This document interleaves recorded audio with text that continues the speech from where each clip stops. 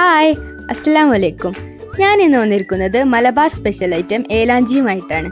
നമുക്കിത് എങ്ങനെ ഉണ്ടാക്കുന്നത് നോക്കാം. അതിനു മുമ്പായി എന്റെ ചാനൽ ആദ്യമായാണ് കാണുന്നതെങ്കിൽ ചാനൽ ഒന്ന് സബ്സ്ക്രൈബ് ചെയ്യാൻ മറക്കല്ലേ? എല്ലാ റെസിപ്പിയുടെയും നോട്ടിഫിക്കേഷൻ ലഭിക്കാനായി ആ ബെൽ ബട്ടൺ കൂടി ഒന്ന് ക്ലിക്ക് ചെയ്യണേ. ഇനി നമുക്ക് ഇതിന് വേണ്ട ഇൻഗ്രീഡിയൻസ് എന്തൊക്കെയെന്ന് നോക്കാം. തേങ്ങ ചിരവിയത് രണ്ട് കപ്പ് രണ്ട് ടീസ്പൂൺ കാഷ്യൂനട്ട് രണ്ട് ടീസ്പൂൺ റൈസിൻസ് രണ്ട് ടീസ്പൂൺ പീനട്ട് നാലോ അഞ്ചോ ഈത്തപ്പഴം അരിഞ്ഞതും. ഇവയെല്ലാം കൂടി നമുക്ക് നെയ്യിലൊന്ന് റോസ്റ്റ് ചെയ്തെടുക്കാം. ഇതെല്ലാം ഓപ്ഷണൽ ആണ് കേട്ടോ. നമ്മുടെ കയ്യിലുണ്ടെങ്കിൽ ചേർത്ത് കൊടുത്താൽ മതി.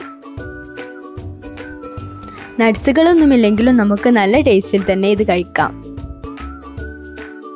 ഇതിലേക്ക് നമുക്ക് ചിരകി വെച്ചിരിക്കുന്ന തേങ്ങ രണ്ട് കപ്പ് ചേർത്ത് കൊടുക്കാം.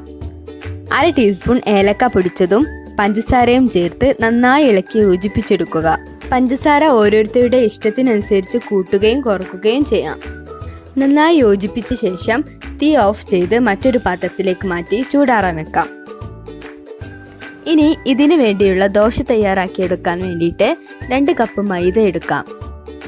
ഇനി അതിലേക്ക് ഒരു മുട്ട പൊട്ടിച്ചൊഴിക്കാം. കാൽ ടീസ്പൂൺ മഞ്ഞൾപ്പൊടിയും ഒരു നുള്ളു ഉപ്പും ചേർത്ത് പാകത്തിന് വെള്ളവും ഒഴിച്ച് നമുക്കിത് മിക്സിയിൽ നന്നായിട്ടൊന്ന് അടിച്ചെടുക്കാം. ഈ ഒരു കൺസിസ്റ്റൻസിയിലാണ് നമുക്ക് കിട്ടേണ്ടത്. ഇനി ഇത് നമുക്ക് ചുട്ടെടുക്കാം. ഒരു പാനിൽ നെയ്യ് തടവി ഓരോ ദോശയായി ചുട്ടെടുക്കണം.